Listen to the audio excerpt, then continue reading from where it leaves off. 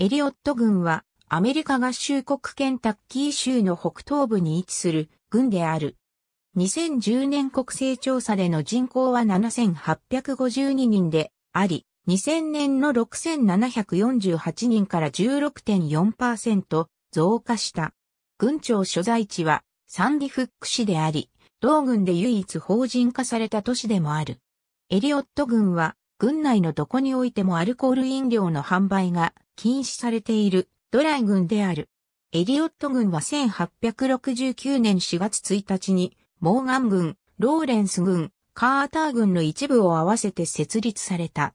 郡名は、ケンタッキー州選出アメリカ合衆国会員議員を務め、第1回アメリカ連合国議会の議員になったジョン・ミルトン・エリオットにちなむとする説が有力である。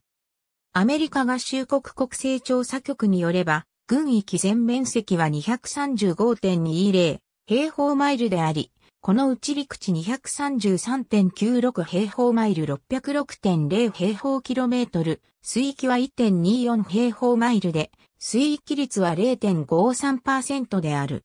エリオット軍は1869年のその設立以来、アメリカ合衆国大統領選挙では一貫して民主党候補者を支持してきた。民主党に投票してきた軍として国内で最長である。2008年アメリカ合衆国大統領選挙では、バラク・オバマを支持した軍の中で、白人人口比率が99.04%と、国内で2番目に高いものとなった。オバマは、投票数の61%を獲得し、対する共和党のジョン・マケインは36%に終わった。このオバマの支持率はケンタッキー州の軍の中でも最高だった。2012年時点で共和党の登録有権者数は187人と州内最小である。